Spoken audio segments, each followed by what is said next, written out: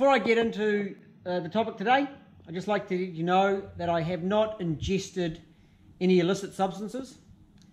Uh, I've been, I've been smoking anything, and you don't need to call the men in the white coats. Because what I'm going to say, I often get really strange looks. People are like, what are you talking about? So the topic is the fact that 1UZs use the same cylinder head on both sides. Are you having trouble comprehending? I'm going to say that again. The 1UZ, this is the non-VVTI. The cylinder head from the left-hand side can be taken off and put onto the right-hand side. Now what guys normally say is, but won't the camshaft pulley come out the back? Or do they have a cam belt on the back of the engine? No, cam belt's on the front, but I'll get to explaining that soon. So let's have a little bit of a look. I've got uh, two engines here. So I've got a 20 series. And you will find different part numbers. That's because they did change the castings a little bit, but each one takes two. So this one, you notice here is a little spot where you would put, you could put a dipstick if it was an early engine. So it was a crown engine, that's on the front. And look at the same little dent, the same casting is on the back. So that's a hint that something might be the same. Over here, you've got opened up holes and opened up holes. They're actually looking very, very similar visually on the back of the cylinder head. Here is a, this is old Yeller. So this is a 10 series engine. And this head actually I think might be the same as that one. The earlier heads were different and but they take the same head on both sides. Even when I say there's a different head or you'll find different part numbers, as long as you put two of the same head on the engine, they will swap. There we go. We know that the exhaust manifolds are the same. So the exhaust gaskets are the same. So this is a set of my headers. So I can take a set of left-hand headers and put it on the right-hand side and right-hand headers and put it on the left. The intake manifold can be reversed. The intake manifold gaskets are the same, both sides. Actually, you can also swap the top of the plenum as well. So you can swap the bottom bit around and the top. So let's have a look at that on the cylinder head. Here I have my blank head. This is the one that may have ingested a bolt from when it had a starter motor done and it didn't have the, all the debris uh, blowing out and it ingested one of the screws that had fallen off from a throttle position sensor. So we have some tappet covers and again the tappet cover gaskets left and right are the same.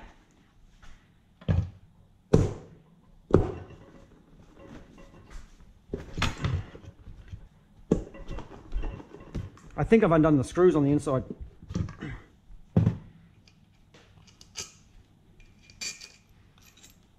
We'll just get rid of those. Try that again. That tappet cover fits. And the other side, see that one's got an oil filler on it, so it must be the other side. That fits as well. So you can swap those around onto the camshafts. So this is the bit that can be interchanged. But you do need to swap the camshafts around. I happen to have some spare camshafts here. And I'll, one day I will do a video on setting up the, the cam timing internally.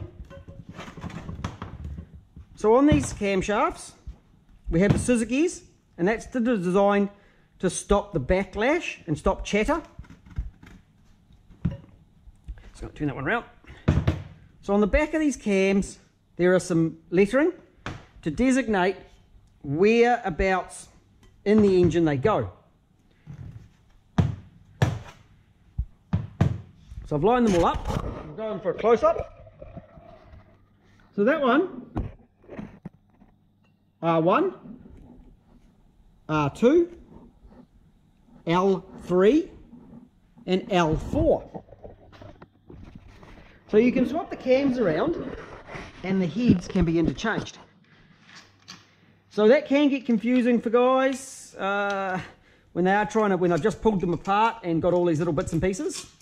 On the cam caps, we've got um, I1, I2, I3, I4, I5, and I6. And on this one, funnily enough, E1, E2, E3, E4. Arrows, so one head will point forward and one head will point backwards. And these cam caps do need to be kept in order. Hence the reason they're numbered, because the, the heads, when they've been put together, are line bored. So the cam caps need to be kept in their correct position. So if we take this camshaft here, and we put it here like this,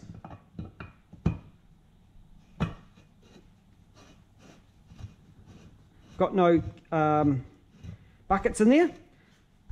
So there we have a right hand cylinder head and it would get the, the right hand gear to go with it, like so. So that makes it a right hand cylinder head. And the cam pulley is at this end.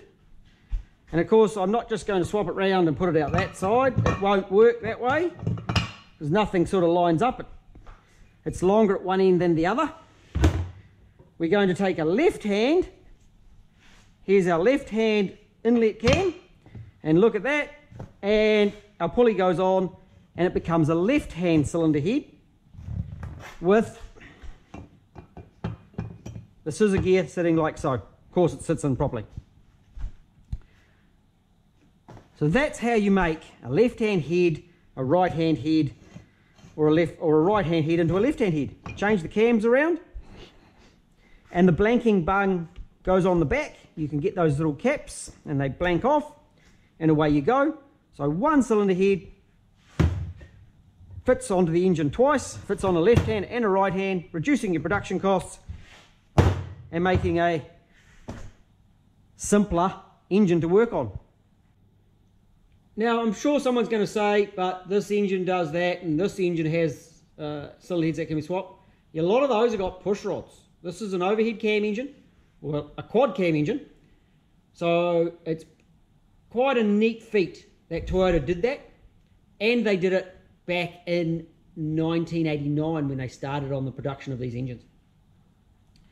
It does make them a little bit of a jigsaw if guys just go rip them to pieces because both heads will have cam caps that are left hand, will have inlet and exhaust cam caps, and people mix them up. If it's a used engine, you'll generally find the side with the PCV valve on it, uh, which is the left hand side, will be dirtier than the right hand side, and that's just normal. So you can sometimes match it like that. But it pays to actually keep them all together nicely so you don't mix them up. Uh, even though the cylinder heads are the same. The head gaskets are different. Now, I did that in my head gasket video, and that's to do with the water flow around the engine. Nothing to do with the cylinder heads as such, it's the water flow. It does mean that, of course, intake manifold gaskets, as I said, are the same, uh, but you can put them left. I've seen them where they've put them front to back and they don't go over the holes properly. I know normal people can't do it, but People do do that. Uh, the water bridge gaskets are all the same, all four of them are the same. Exhaust manifold gaskets are the same. The exhaust manifold gaskets are the same VVTI and non-VVTI. So they interchange no problem. Uh, the VVTI block has got an extra oil feed. So it's not that easy to put a non-VVTI head, no, put a VVTI head onto a non-VVTI block. So I, I don't even try. For the price of the motors, just stick, get another motor and rebuild that if you want a VVTi motor, or if you've got an early motor, rebuild that, if that's what you want to do, or swap pistons around. But I think it's really clever that they did that. Uh, I do get the strangest looks when I say that they're the same head. People just can't work it out. So hopefully that's cleared up a little bit of that. And you can see how easy it is when I've got those camshafts and I can just flick them around. Um, very, very quick to do, very, very easy to do. I'm sure someone's going to ask whether VVTIs are the same. I've got a VVTI, the back of a VVTI engine here. Looking at the back of the cylinder head. So the cylinder heads on the VVTIs are not interchangeable left to right. It's got a right one and a left. Kind of indicates that they can't be swapped. But the intake manifold, the principle with the intake manifold, you can turn them around because I have done so. It's a bit of a stuff up with this big cover here and wiring, but I have managed to swap them around in some of the trials trucks I've wired with VVTI engines. So hopefully that's been helpful and you've learned something. Or at least if you already knew, it gives you um, a valid way of arguing your point. So if you've liked this video, uh, push the little like button and subscribe to my channel if you want to see more 1UZ stuff.